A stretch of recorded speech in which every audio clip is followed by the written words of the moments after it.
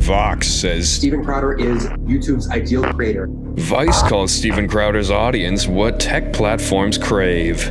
The Young Turks proclaim Steve Crowder is a gross person. He makes cheap, long content that tons of people watch and subscribe to. YouTube dragged its feet before taking any action against conservative commentator Steven Crowder.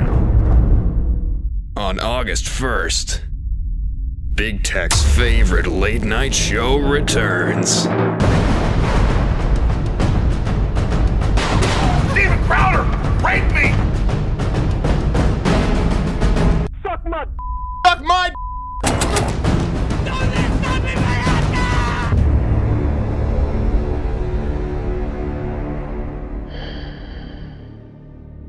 I've been expecting you.